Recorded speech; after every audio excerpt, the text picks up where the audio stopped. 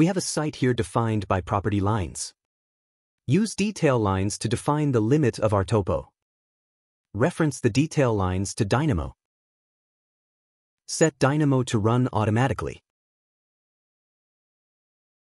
Switch on Preview for points.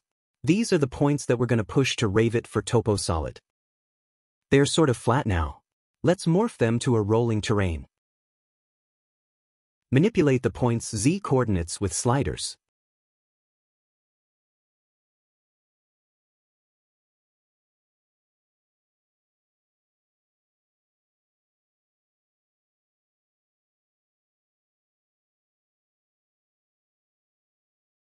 To better visualize the form that we're going to send to Revit, let's switch off Preview for Boundary. Switch on Preview for isolines on both directions. And switch on Preview for Surface.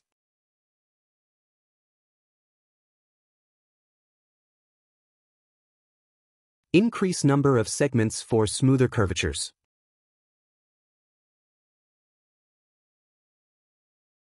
Higher number of segment means more points to calculate. Hence, it takes longer to complete morphing. Note the isolines and surface are meant to visualize the points in Dynamo only. They are not needed in the forming of topo in Revit. Let's push the points to Revit. Set execution to manual. We're going to use a node called topography by points.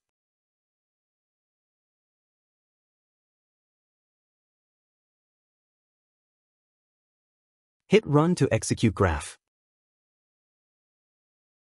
Notice that this is under category topography. We need to convert this to Toposolid for version 2024 or later.